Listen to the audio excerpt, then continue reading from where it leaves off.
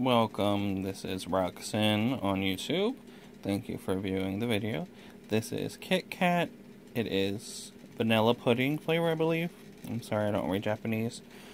Um, this is a 13 mini pack, and you can actually use the toaster oven to crisp it up as the picture shows. And I'll show you the back one second. And here is the back of it.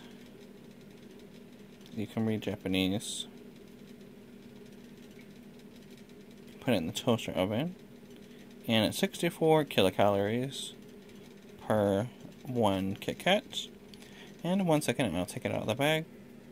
And here it is out of the bag, 64 kilocalories, as it says. And it has the same logo about using a toaster oven. And it has the lo their logo, have a break, have a Kit Kat. And where you write your name on it. And it has their website. And um, more Japanese right there. In one second, I'll open it up for us. And here it is out of the package. It says Kit Kat, as you can see. And it's, you know, a whitish, yellowish color. Um,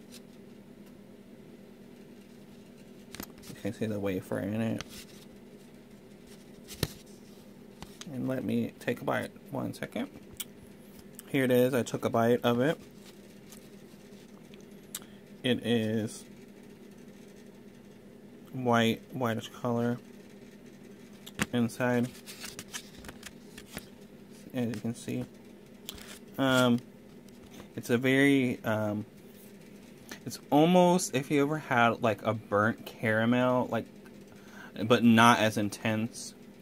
It reminds me, it doesn't remind me of pudding too much, but it, it does have like a vanilla and like a sugary taste to it. And I really like it. I would rate it 9 out of 10. And I do thank you for watching this video. And if you haven't, you can always watch my other videos um, that I've been doing on my unboxing on my Japanese food. And you have a nice day.